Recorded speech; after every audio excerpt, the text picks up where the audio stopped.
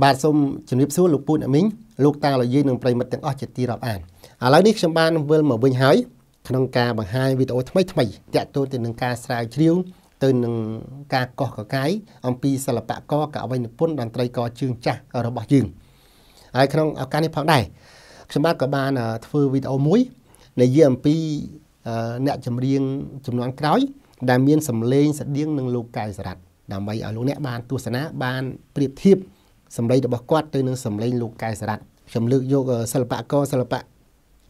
អ្នកចម្រៀងយើងក្រោយៗនេះ4 5នាក់មកធ្វើការប្រៀបធៀបសម្លេងគ្នាអញ្ចឹងសូមទៅទស្សនាជាមួយខ្ញុំណាហើយសូមចូលទៅទស្សនាក្នុង channel ថ្មីគឺសេងតារា2 3ដងនៅខ្ញុំបានជម្រាបអញ្ចឹងថា channel សេងតារា4 3ដងនេះក្រុមហ៊ុន YouTube បានផ្ដាច់ AdSense ទៅហើយគឺលែងមានចំណូលអ្វីទាំងអស់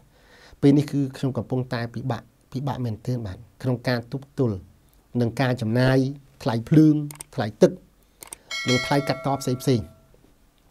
ឥឡូវគេផ្ដាច់ AdSense លែងបានចំណូលពីការមើល YouTube ទៅហើយអញ្ចឹងទៅគឺ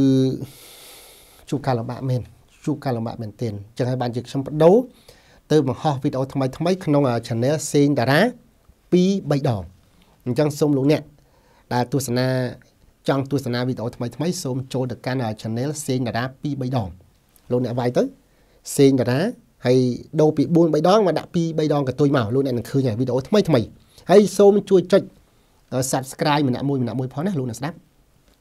ពេលចូលទៅកាន់ Channel សេនតារា2 3ដងសូមជួយចុច Subscribe ម្នាក់មួយម្នាក់មួយផងអ្នកដែលមិនទាន់ចុចហើយម្នាក់ចុចហើយគ្រាន់តែជួយចុច Like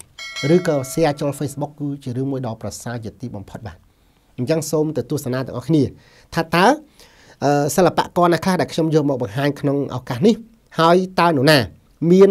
សំឡេងស្តៀងនឹងលោកកែវសារ៉ាត់ជាងគេតោះឥឡូវទៅទស្សនាជាមួយខ្ញុំក្នុង Channel សេងតារា2 3ដងហើយសូមជួយចុច Subscribe ម្នាក់មួយម្នាក់មួយនិងជួយបញ្ចេញមតិយោបល់ទាំងអស់គ្នាតោះសូមអញ្ជើញ thank you